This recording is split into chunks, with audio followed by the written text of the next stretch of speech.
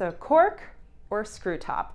What's the difference? Well, in today's quality standards, really not a whole lot. In fact, the reason why a lot of producers choose corks is simply because it's the traditional um, way of sealing your wine bottle. With today's improvements in both cork and screw cap technology, both are equal in my mind. Um, but I have to say, advantage to screw cap, easier to open, easier to enjoy the wine.